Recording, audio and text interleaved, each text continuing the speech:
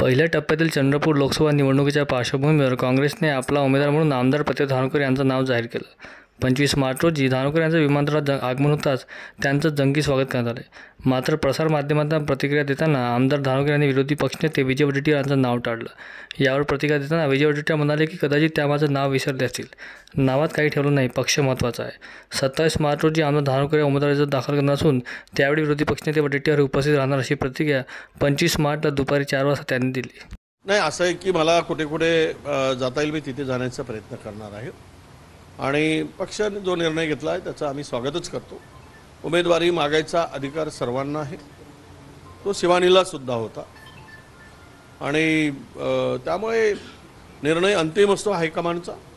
त्या त्या ठिकाणी मी शक्य होईल त्या ठिकाणी मी जायचं ठरवलं आहे आणि काही अडचण नाही. शेवट पक्षाच्या उमेदवारांना ठिकाणी जाण्यामध्ये मला उद्या सकाळचा फॉर्म मी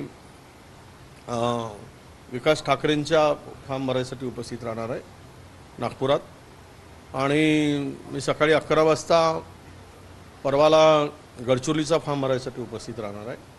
त्यानंतर दुपारी चंद्रपूरला जाईल.